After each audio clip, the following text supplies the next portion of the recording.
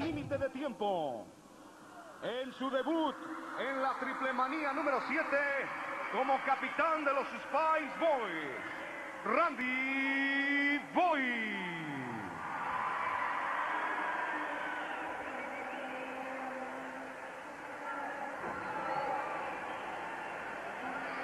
Como capitán de la esquina de enfrente, también técnicos, Coco Negro.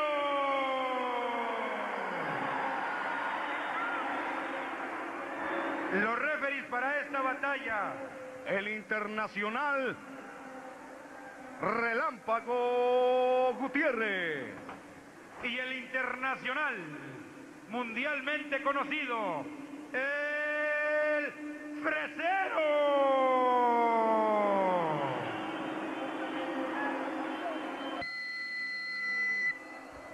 Claro, como no, con mucho gusto.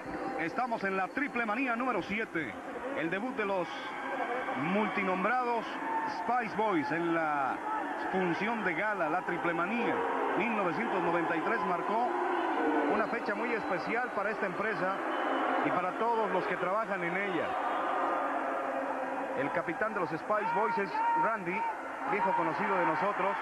Él venía vestido o disfrazado o caracterizado, mejor dicho, de policía. Y ahí están los payasos con su nueva adquisición Cocorrosa. Vamos a ver cómo les va a los Spice Boys. Ojalá que sea de muy buena suerte el público de Ciudad Madero para que vengan pues muchos triunfos, Andrés. Sí, así lo esperamos, sinceramente. Bueno, pues vámonos a la batalla, solamente una caída. Vamos a ver, su presentación fue excelente. Su presentación, pues ahí queda, ahí queda. Pero ahora viene lo duro, viene lo importante, la forma de luchar, de encarar al rival y enfrente tienen a los payasos, una cuarteta que ya pues ya tiene mucha lona recorrida, mucha experiencia. Aquí estos jovencitos, los Spice Boys, van a buscar la gloria en una batalla a ras de lona por lo pronto. Es lo que han intentado. Aquí se ve lo que saben hacer y lo que han hecho durante mucho tiempo poniéndose a practicar, a entrenar.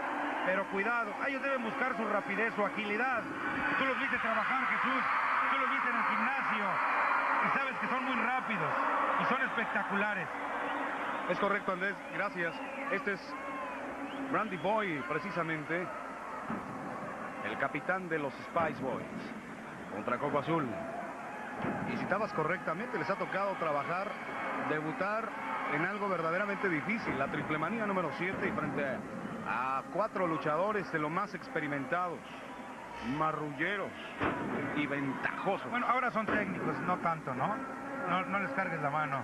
Mira, te pongas lo que te pongas, siempre serás payaso.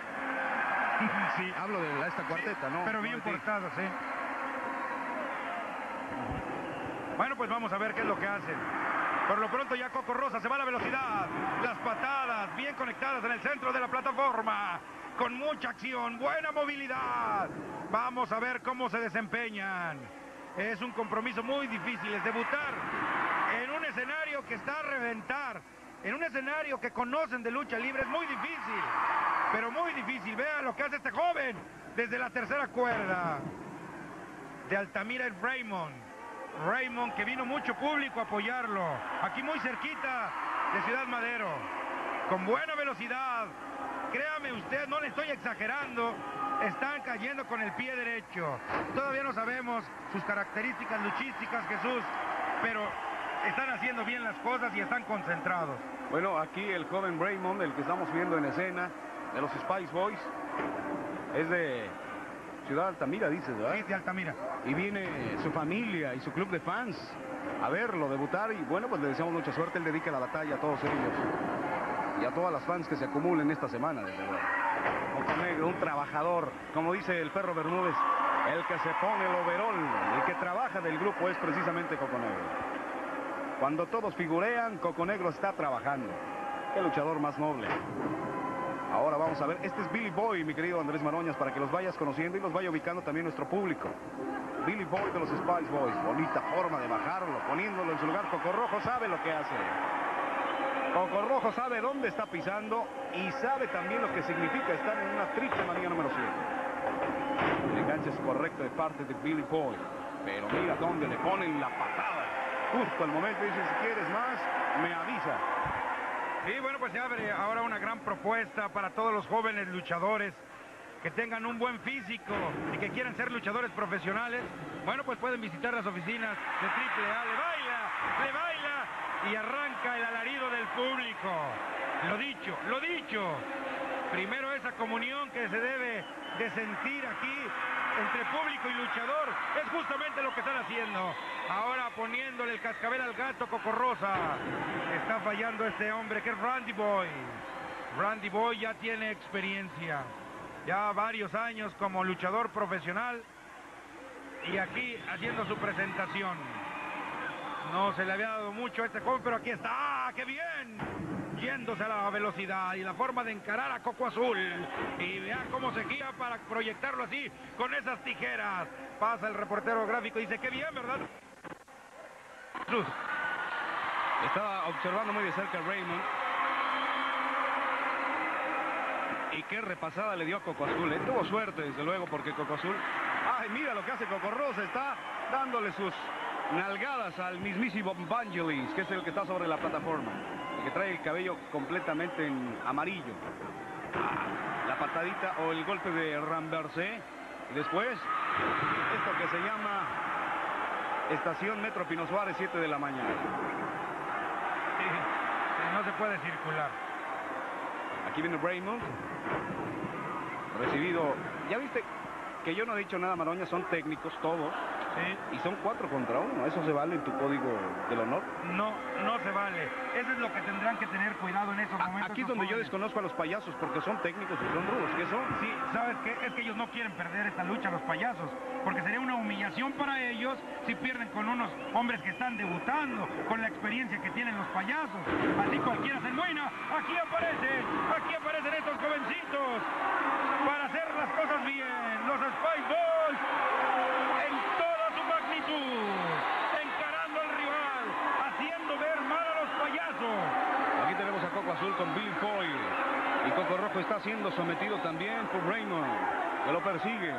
Lo va tras él, Vangelis está dando las instrucciones y Coco Roja es azotado allá al fondo a la izquierda de su pantalla. Los payasos están siendo humillados en el debut de los Spice Boys. Qué sorpresa, ¿quién lo dijera, eh? ¿Quién lo dijera? Y tanto que quieres a tus payasos, Marones.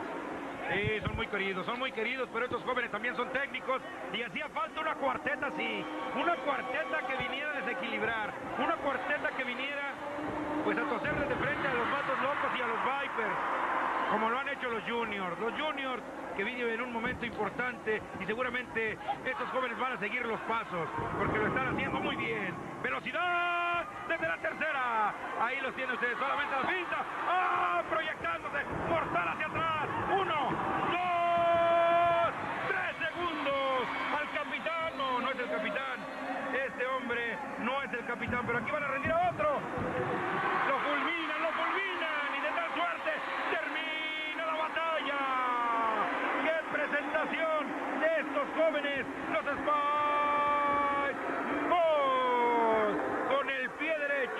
Primero su después la forma de luchar, se les entrega el público y se termina, se termina la batalla. Jesús, ¿qué te pareció?